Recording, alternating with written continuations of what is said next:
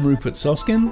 And I'm Michael Bott. Welcome to another Prehistory Flash, where we look into some of the exciting discoveries and research being carried out in the world of prehistoric archaeology.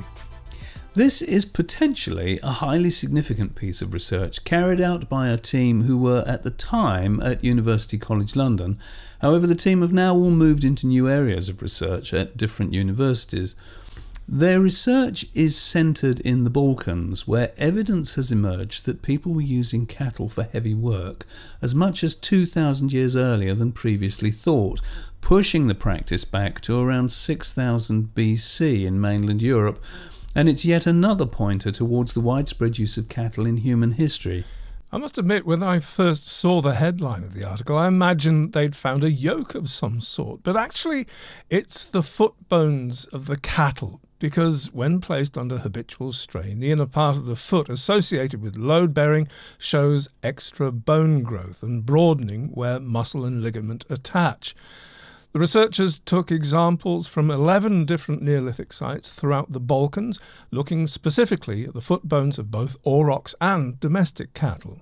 Yeah, if you wanted it in a nutshell, and this is a quote from the paper, we're talking about broadening of the medial condyles for both metacarpals and metatarsals, as well as extension of the medial proxial, uh, pro- proximal, I beg your pardon, articular facet of both first and second phalanges. You almost made it look as if you uh, knew what you were talking about. almost, almost. smoke and mirrors. it's also interesting that this research doesn't change the dating of the origins of ploughing, etc., which happened much later. This research shows specifically that people were using cattle in a similar way to how we use shire horses, most likely for dragging huge timbers around for construction. Like so many discoveries, it's just where someone with a sharp eye noticed that something was different. An earlier finding in Syria of a similar foot bone was inconclusive, and then a number of them were excavated around Serbia and Croatia. As Rupert said earlier, the members of this research team have all moved on to other things. But we tracked down one of the authors, Dr. Marc Vander Linden, who is now at Bournemouth University, to ask if there were any new developments. He told us that, as far as he knows, no one has taken up the idea to investigate all the cattle bones languishing in the back rooms of museums. So, we say that this should be a student task, and all university archaeology departments should get on a mission to see if this pattern of bone growth can be shown throughout the Neolithic and, to the point, the megalithic world.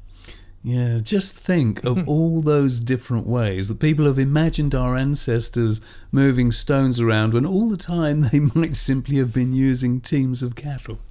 Anyway, there you go, folks. Cattle as working animals 8,000 years ago. But before you go, though, next year, only 15 years since the last time, we're going to be making another feature length documentary about all about the story of the people who built our megalithic monuments in the Neolithic and early Bronze Age. For news and information on how you can help us achieve that, hop over to our Patreon page, details below and in the link up there. Thanks for watching, folks. We'll see you again soon.